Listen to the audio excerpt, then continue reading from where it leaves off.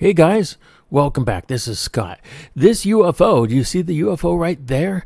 Okay, watch this. Watch this. Bright light over Kiev, Ukraine. Did you see that? Just happened yesterday on the 19th.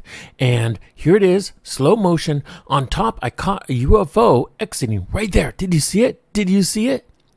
It exited on top. So either it exited or it destroyed a Russian missile coming into Kiev. I think it destroyed something nuclear, neutralized it.